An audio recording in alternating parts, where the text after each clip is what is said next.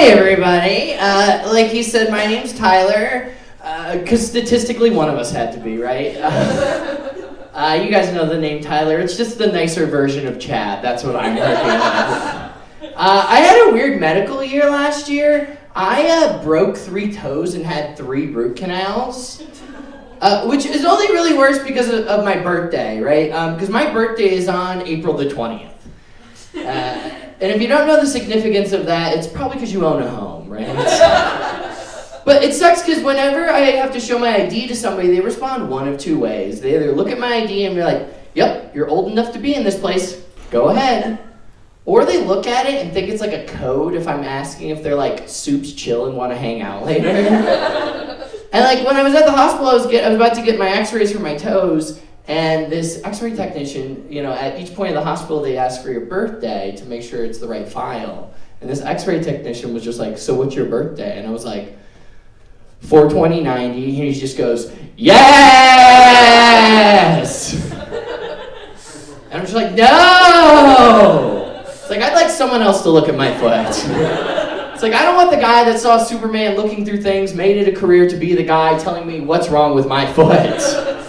It's like that's the only secondary holiday that gets treated that way too. Like no one's ever like, Arbor Day, buddy, I got some dank oak seeds for you if you want them, all right? Or no one's ever like, oh my god, Groundhog's Day? what? What? What? What? Winter. it's dumb.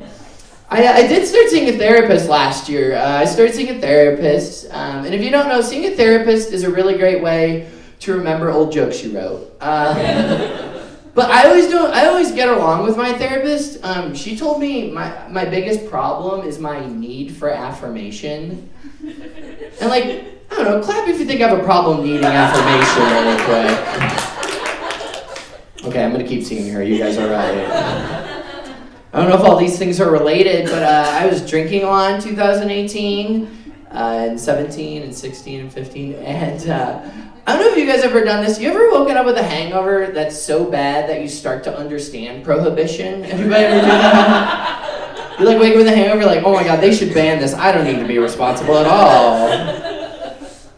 But uh, I mostly drink during the week because I work at a Chicago public school. Um, there's a lot of reasons, right? Uh, and what sucks about working with kids is they're just constantly trying to figure out how life works. And we've all figured out life is kind of a bummer most of the time, right? Like a five year old said the realest thing I've ever heard said about life to me. Like she came up to me crying more than I have ever seen a person cry. It was like a sorority rush week times two, okay? and I'll never forget the words that this kid said to me. She was just like, Mr. Tyler, no one's making me happy right now. and how am I supposed to tell her, like, yeah, that's how it's always gonna be? I don't know, download Candy Crush, that's what I did. Uh, no closer to having kids, uh, but my, my cousin just got engaged, which we're all really excited about. He got engaged while he's in college. Um, but what's weirder about that is he got engaged to his high school sweetheart, which I didn't know we were still doing in 2019. It's like you gotta get out there and try stuff, right? Like you shouldn't be allowed to buy an engagement ring until you get HPV, right? It's like, how are you gonna know who's the one until a doctor's told you, yeah, it's just an ingrown hair, you're cool. Right?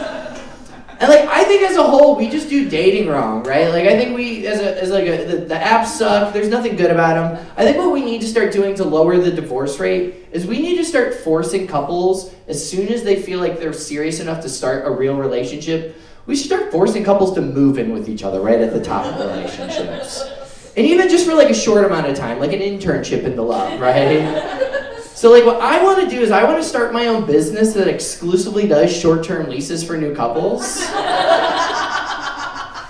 I'm just gonna call it like, is it real estate, right? And uh, but then when you sign a lease with us, we put you through little challenges like the Bachelor and Bachelorette do to simulate a long-term relationship. So like week one, one of you has to become a vegetarian. Like that's just real. If you can cook two separate meals, I think you're really in love, right? Or like week two, we just leave a random thong in your apartment. Is it guys or girls? I don't know. Figure out together. Get stronger as a couple, right? And then week three, we take your bathroom door away, figure out each other's pooping schedule. It's important. And on the very last week, the most important week, um, we're gonna have the ultimate test of love, and that's where we're just gonna leave a baby in your apartment. You gotta see if the two of you want to make a baby live together, and uh, and you might be thinking at this point in the joke, like, where am I gonna get all these random infants I can put in apartments across the country? Well, I already told you I work at Chicago Public Schools, so But I also want to start another side business where parents can rent out their children to new couples. And I, of course, am going to call this business Airbnb. And uh, I think I have a million dollar idea. Uh, my name's Tyler. Thank you so much. Have a great rest of the show.